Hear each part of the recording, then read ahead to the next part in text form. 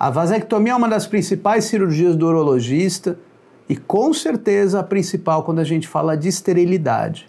Sim, toda vasectomia ela é reversível. A gente sabe inclusive que quanto mais tempo passa da vasectomia, essas chances de reversão vão caindo. No entanto, o paciente, para que seja decidido pela vasectomia, ela tem que ser muito bem pensada.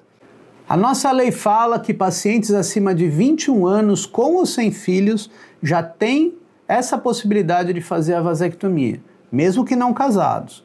No entanto, entendo pessoalmente que essa decisão deve ser feita conjugal.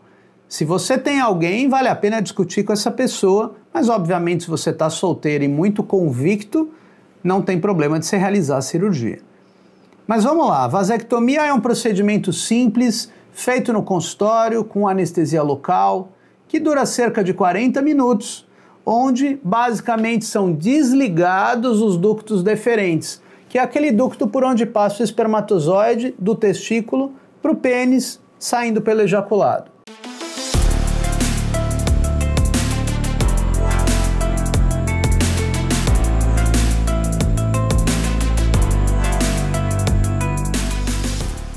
A vasectomia, portanto, é uma cirurgia muito bem padronizada, rápida, segura, com grandes taxas de sucesso, a gente fala de 99,98% de sucesso, maior que DIU, maior que camisinha, maior que pílula anticoncepcional.